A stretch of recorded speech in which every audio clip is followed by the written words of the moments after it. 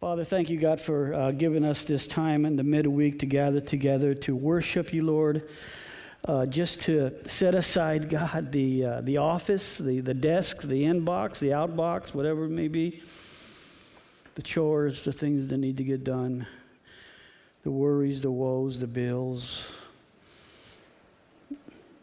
Lord, just, just the things that are the day to day life that we live, but Father, we ask that you just settle our hearts and thank you for that. We just focus on your word tonight. God, speak to us. It's, it's a wonderful book, Lord God. It's great application, but we ask that you speak to us individually tonight and congregationally, Lord. We love you and praise you in Jesus' name. Amen. Just a little of an introduction again. Last time we studied how the king we shared with you were, was preparing for war against the Grecian army. Uh, there was a movie out called 300 Spartans. Has anybody seen that movie? It's about this war that this guy got involved with. And I haven't seen it. I'm not saying it's a good movie or not. I don't know what it's rated, so just somebody had told me it's, it's about this conflict. And how he threw a six month party. I mean, think about that. And really, it was, as I said last time, it was a dog and pony show for his allies, for the commanders and his officials, because he was preparing for that war. Then he held a seven day uh, party, as if six months wasn't enough. But this was a local party for all the people, and we could say for all the males who were present at the citadel. It was at that point when the wine was flowing and the king was, what the scripture said, merry, which was he was drunk. Was merry. That he commanded Queen Vashti to come and parade herself before his drunken audience. But the Queen Vashti refused. And the king became very angry and embarrassed before those of the kingdom there, those of the citadel. So he listened to unwise counsel, and a decree was issued against all wives in the Persia kingdom that they must submit to their husbands' commands and never refuse. You know, it's something when you're commanded to do it, when you're told to do it, than when you want to do it. Through love for your husband, for your spouse. So the, ki- the queen was fired and divorced, per se, or became one of his concubines in one hasty and angry and drunken decision. Just one. Her royal estate as queen would be given to someone else. But up to this point, before chapter 2, no one had been chosen as queen. Queen Vashti, I said last time, lost her crown, but she kept her what? Her dignity. Her dignity. And although the name of God is never mentioned in this book, we saw just in chapter 1 how involved he is with all that is going on at this citadel. Because what's happening is it's setting up an opportunity for God to replace Vashti with a young gal by the name of Hadassah. She was a Jewish gal who will become queen. We told you that the theme of the book is the providence of God, and although His name is never mentioned, prayer is never mentioned, worship is never mentioned, all these uh, religious and godly, uh, you know, words and sayings, and God Himself isn't mentioned. He is all over this book. Uh, you need to read ahead. You need to read the chapter, if you can, before Wednesday night. You need to read it. Read the whole book. It's not that long. And then read it again because the wisdom, the concern, the guidance, and the foresight of God for the Jews is all over this book. Which reminds us of the purpose of the book of Esther. Not only is the theme the providence of God, but the, the purpose for why it was written is that God is not done with Israel. We can just say that and that it reveals a satanic threat to destroy the Jewish people, and just how God continues to preserve his people. This is my iPad tonight, by the way, so uh, let's read verse 1. After these things, when the wrath of the king Ahasuerus subsided, he remembered Vashti, what she had done and what had been decreed against her. So after these things, well, what things? Well, after the wrath of the king of Ahasuerus subsided, he remembered Vashti, what she had done, and what had been decreed against her.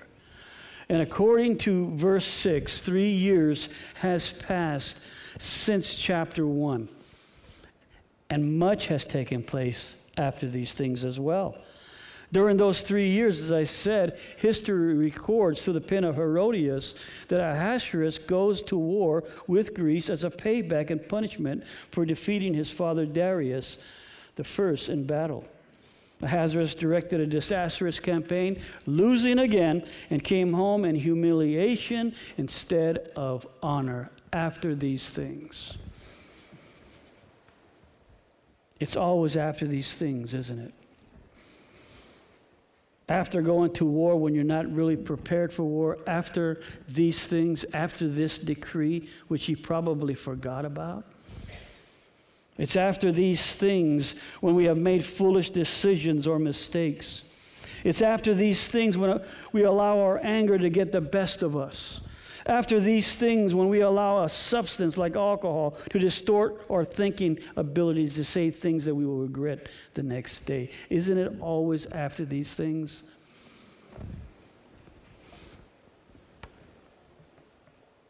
This the king did when he was very intoxicated and angry.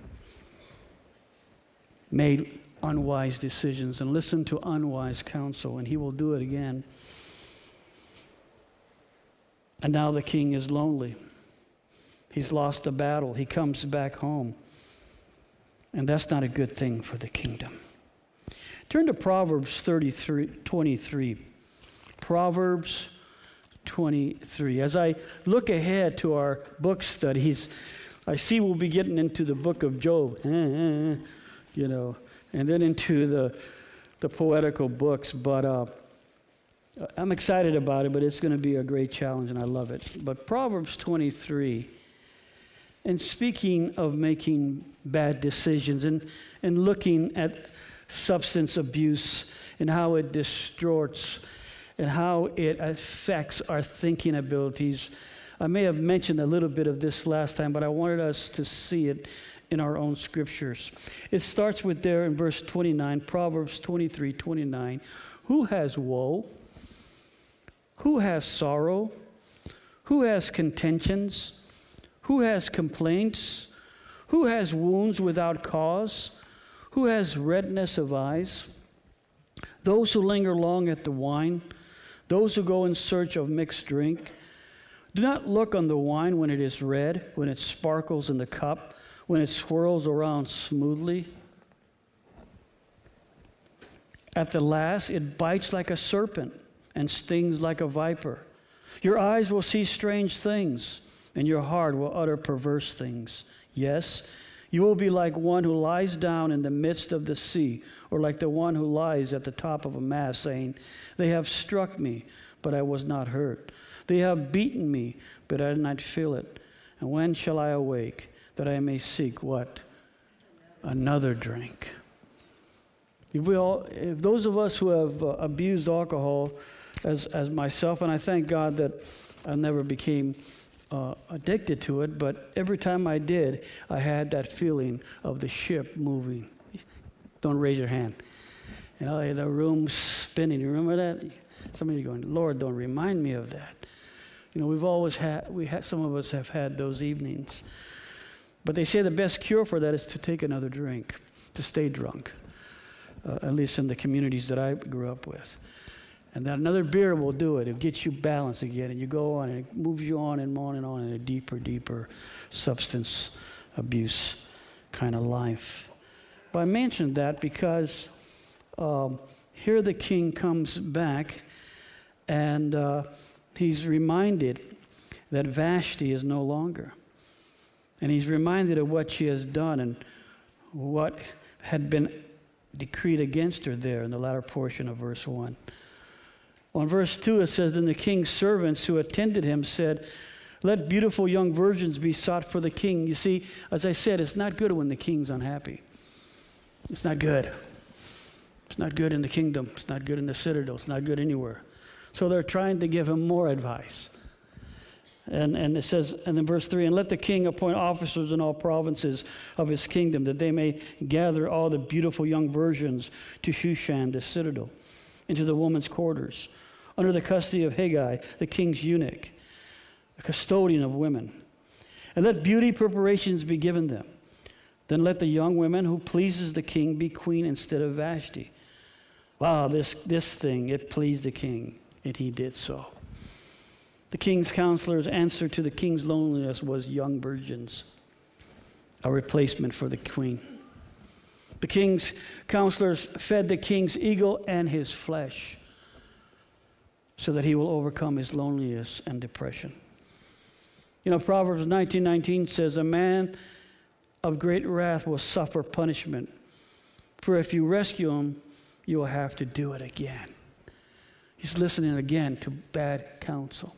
He's listening again to men who just want to calm the storm that they're in there in the, in, in the empire of, of the Persian media, Persian empire, and they know how this king can be. You know, loneliness is a hard place to be in.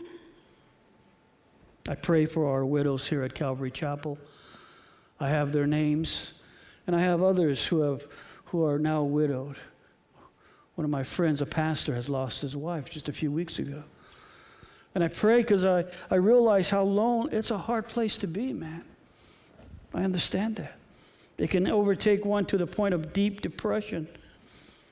And if not properly dealt with, we, we find ourselves making unstable decisions. I've seen that as well. You should never make decisions when you're in a place when, when something like losing a spouse or a breakup or, or a divorce takes place. You should never make any decisions until you have been, you know, walked through that through through counseling and and through, you know, brothers and sisters helping you through that. People will hurry to get into a relationship, then rush into a marriage and sometimes compromise in their faith and find themselves in an unequally yoked relationship or develop unhealthy, cope, unhealthy coping mechanisms. It's a hard place to be, I get that. And maybe some of you are there today. You're just very lonely. You, you, you would love to have a partner, you'd love to have a, a, a spouse and it's easier for me to say, just hang in there and wait and wait and let the Lord bring to you the one that you need. Or maybe you're just, you're going through a, a death of a loved one. We need to be careful in those times. We need to battle against our emotions. And emotions are real, aren't they? They're real. I'm just not throwing that out. Emotions are real, man. But try not to allow them to rule our decisions. That's why, again, it's important to be connected to a church, to a community of believers, to stay in contact with other believers who care for you and will watch out for you. Fellowship is the key in a time like this prayer and the Word. And we need one another, guys. That's the only way we're going to get through it. The Lord Almighty, His Word, the Holy Spirit, and fellowship with one another or verse 5, moving on, it says there, in Shushan, the citadel, there was a certain Jew whose name was Mordecai, the son of Jair, the son of Shimei, the son of Kish, a Benjamite. So, all that to say he was a Benjamite. He also came from uh, the line of King Saul. King Saul was a Benjamite as well, if you remember. Kish had been carried away from Jerusalem with the captives who had been captured with Jeconiah, king of Judah, from Nebuchadnezzar, the king of Babylon, had carried away. And Mordecai had brought up Hadassah. That is, when he says brought up, he, he raised her. Um, that is, Esther, his uncle's daughter. For she had neither father nor mother, which makes her a what? An orphan. It makes her an orphan. Uh, the young woman was lovely and beautiful. And when her father and mother died, Mordecai took her as his own daughter. So we see the difference there. Uh, here is a, a, young girl who, who loses her parents, and of course, the family, as we mentioned in the introduction last week, as family, Mordecai, as her cousin, but older cousin, takes her as his own daughter, adopts her, and is going to raise her, you know, and, and, and you know, love her and watch over for her and, and provide for her. And this is what we have here. Uh, again, these are two more of the key figures in the book by the name of Mordecai. And again, he was one of those who stayed back after the captivity was set free. Why? I don't know. Why not go back to Judah? Why not go with those who have been released? But he stayed back. Mordecai means little man, but he would prove to be a giant in the history of the Jews. And maybe we could say, well, that's why, Mark, he stayed back so this could happen. But the fact was, God never said for them to stay there. God said for them to go back. But again, we see the providence of God and the love of God who's going to constantly take care and watch over his people, even if they're not in his perfect will. Hadassah, the, the young cousin, we could say the the daughter, uh, the adopted daughter of Mordecai, her name means myrtle. We know her by her Persian name, Esther, and Esther means star. And we learned that Hadassah was, was uh, taken into the home of Mordecai, again, as his own daughter. You know, as I was reading this, I was thinking, Lord, we have all been orphans spiritually at, at, at one time. We, we, we were like orphans. We were, in a sense, living our own life, living, you know, uh, in poverty of, of our soul, living in sin, uh, just lost. Uh, uh, we, we, we took on the world. We have adopted the world as, as the one that will, that will rule us and give us direction. And man, we were so lost, weren't we? And then the gospel comes, the opportunity to respond to God's love in his son. And I, and I love that as, as we receive Jesus as our Savior, we, we, have, we now have been adopted. And, and with the promise that He would never leave us as orphans, that He will always be with us forever. And not only adopted, but He doesn't even see that as see us as adopted. He sees us as His own sons and daughters. I love that. Verse 8 so it was when the king's command and decree were heard, and when many young women were gathered at Shushan, the citadel, under the custody of Hegai, that Esther also was taken to the king's palace in the care of Hegai, the custodian of women. So she was also one that was chosen. Again, the scripture says she was beautiful, and if the scripture says she was beautiful, she was what? Uh, there you go. Now the young woman pleased him, says, verse 9, and she obtained his favor. So he readily gave beauty preparations to her besides her allowance. Then seven choice maidservants were provided for her from the king's palace, and he moved her and her maidservants to the best place in the house of the, uh, of the woman. Of the women. I love that. Out of all the young virgins in the land, it just so happened, just so happened that Esther found favor in the eye of the king's chief eunuch, who gave to her all that she needed to be successful in this beauty contest, if you will. Just it's just he, he saw he just started giving her favor. Just he, well, not just again God. You see him. Don't miss the providence of God. J. Vernon McGee says providence means that the hand of God is in the glove of human events. Yeah, there it is. I'm glad we put it up there. Write that down. That's so important. That's so true. And the glove of human events. And, this is what we're seeing, man. God is giving her favor in, the eyes of the, of, of the chief eunuch. And he's helping her because God is preparing her for a huge, huge duty that will come. And let us not overlook the blessings that God gives to us throughout our day to day life in this world. How He gives to us favors favor in others we work with or work for, or in situations when we cannot explain the results. How did that happen? How did that take place? Why was I picked? Why, why was I given the job or, or not? And later on you think, thank God I didn't. But because God shows favor, He loves us. We got to see His hand in that glove, guys. We got to see that He's, he's there, He's for us. Verse 10 Esther had not revealed her people, meaning the Jews or family, for Mordecai had charged her not to reveal it. And every day Mordecai paced in front of the court of the women's quarters to learn of Esther's welfare and what was happening to her.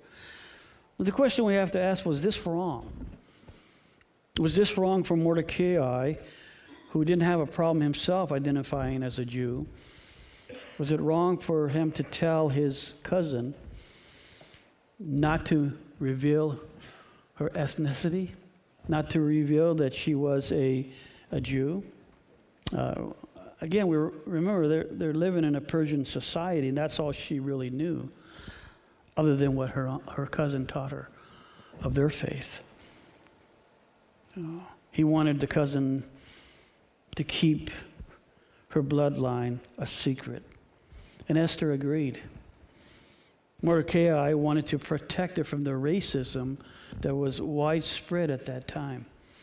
And he sensed it was just the right thing for her to do. And he told her, Don't reveal that you're a Jew. Just continue on. Don't reveal it. Verse 11, and every day Mordecai paced. I, I, I love this. Uh, I heard it said that pacing is the activity, activity of a man who is relying on human wisdom rather than God's will relying on human wisdom rather than God's will. But Mordecai will soon realize that God had something greater in mind.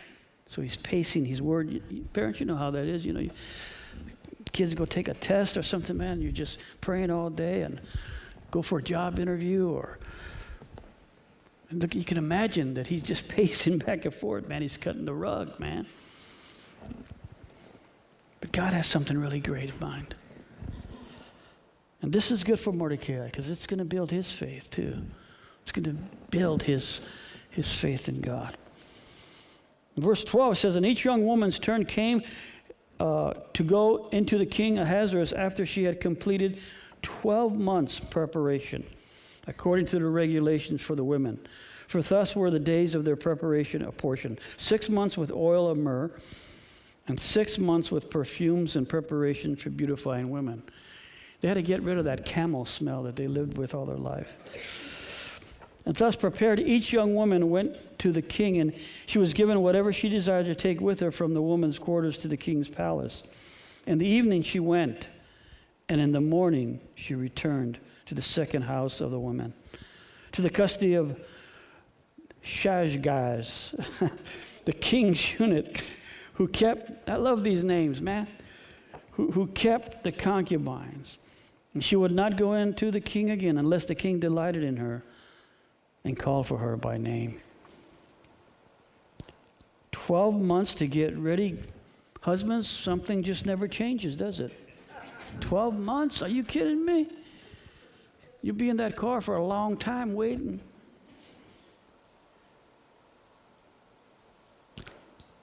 It says in the evening she went, and in the morning she returned. Now you really get sober and realizing, yeah, they are living in a Persian society. I don't have to draw pictures for you, do I? That what is taking place here in this overnight meeting with this king, one out of 400 would be chosen. And scholars tell us that the other 399 would be banished to a harem where they stayed the concubine of the king, but rarely Rarely would they, if, any, if ever, see him afterwards. And they were never free to remarry. They just would live as a perpetual widow. Wow.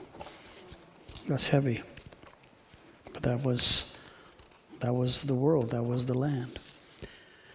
Verse 15 Now, when the turn came for Esther, the daughter of Abihail, the uncle of Mordecai, who had taken her as his daughter to go into the king, she requested nothing but what Hegai, the king's eunuch, the custodian of the women, advised. He knew. He knew the ins and outs. He knew what it would take for her to, to win the crown. So she just trusted him. 16. So Esther was taken to King Ahasuerus and to his royal palace. In the tenth month, which is the month of Tebeth, and the seventh year of his reign. And the king loved Esther more than all the other women, and she obtained grace and favor in his sight more than all the virgins. So he set the royal crown upon her head and made her queen instead of Vashti. Then the king made a great feast. He likes feasts, don't he? The feast of Esther for all his officials and servants. And he proclaimed a holiday in the provinces and gave gifts according to the generosity of a king. Ah, we made the king happy. That's all these people cared about. They just cared about their neck. The king's happy now. The king's got a queen. Everybody's happy. All throughout the citadel, all throughout, all throughout the provinces of which he ruled. But this was a lot of work to go through just to be accepted by the king. Imagine 12 months of preparation, oils and you know, skin care and all the things, you know, the cosmetics, the, the, the things that they would put on and, and the presentations, and no doubt that's not counting the clothing and the wardrobe and 12 months. I'm so glad we serve a king that takes us as we are. Amen the true King of Kings and the Lord of Lords. I mean, some of us try to get cleaned up before we come to Him, and as we tell you, you can't get clean. There is no launderer that will make you any cleaner that, than you think. God says, Come as you are. You may be tore up from the floor up and look like it. And God says, Yeah, come, son, come, daughter. Come as you are. I will change you you will grow, you will mature. I love that, man. No makeup, no cleanup, just sinners who realize that they fall short of God and want to make it right with Him through Jesus Christ. As Esther is capped with a worldly crown, we believers who have been chosen by God from the foundation of the world, that I'm still trying to wrap my head around, will be crowned with a heavenly one and then we will lay them at our Savior's feet. One day, guys. Esther 1, she was crowned and became the king's queen and wife, but little did she know that God was in the shadows moving the king's heart to make that choice and what great things God would do through Esther. You guys know the story. If not, hold on, put your seatbelts on. It's, it's, a, it's a cool ride. It says, When the virgins were gathered together a second time, Mordecai sat with the king's gate. And now we're switching scenes back to the king's gate. Um, the gate is where decision making took place. The gate is where men of influence would, would be seated, would be present there in the kingdom. They would sit. And it's interesting that it's where Mordecai sat it seems that he held some kind of position of influence. Verse 20 says, Now Esther had not revealed her family and her people, just as Mordecai had changed her. For Esther obeyed the command of Mordecai as when she was brought up by him. And I'm sure Mordecai is wiping his forehead, thinking, Whew, man, we got away with it. We got away with it. And now Esther is set for life.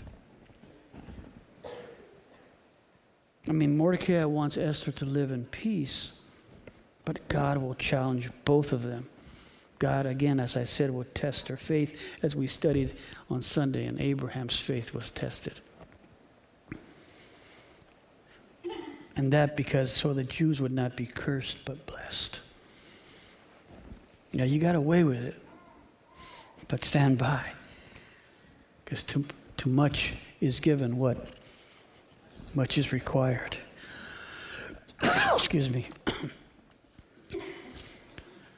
Verse 21 In those days, while Mordecai sat within the king's gate, two of the king's eunuchs, Bigthan and Teresh, doorkeepers, became furious and sought to lay hands on the king of Ahasuerus. There's always those who, are, who have uh, big heads and uh, want to take the king out, want to take the leader out. They're everywhere. So the matter became known to Mordecai, who told Queen Esther. And Esther informed the king in Mordecai's name. I love that. And when an inquiry was made into the matter, it was confirmed, and both were hanged on a gallows. And it was written in the book of Chronicles, not our Chronicles, but the, chron- the Chronicle, but the Chronicles of the kingdom here, in the presence of the king. So it was written down. This incident was written down. It was written in the book, in their books. Now, because of his love and care and concern for this adopted daughter of his, Mordecai is in just the right place to overhear plans of an assassination attempt to the king. Just so happened to be in the right place, right? Remember, coincidence is not a kosher word. And he reveals it, and the plot is thwarted.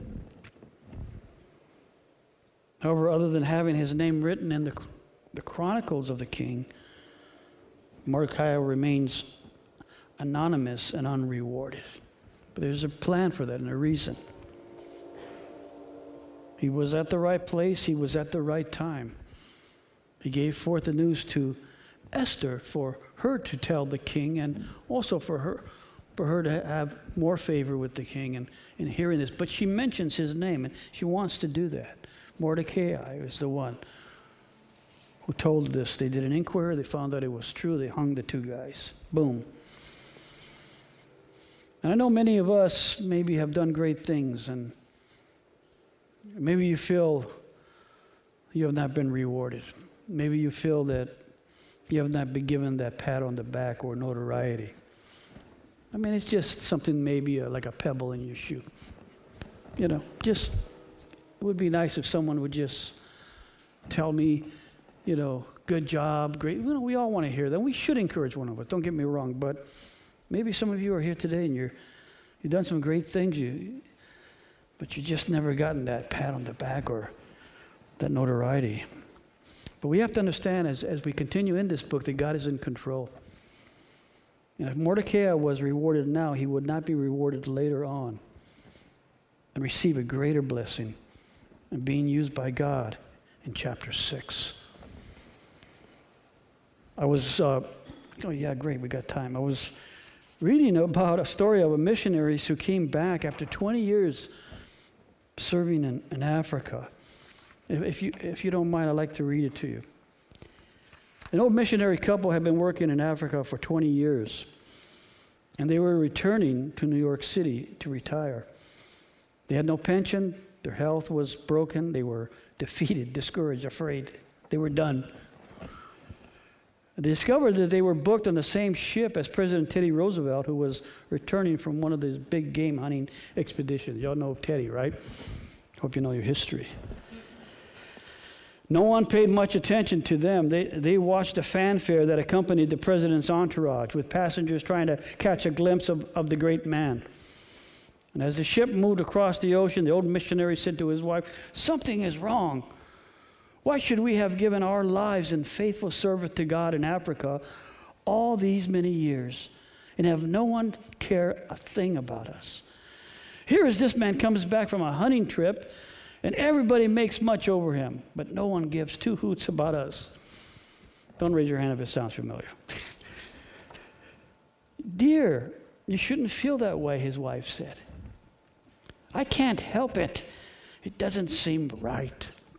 Well, when the ship docked in New York, a band was waiting to greet the president.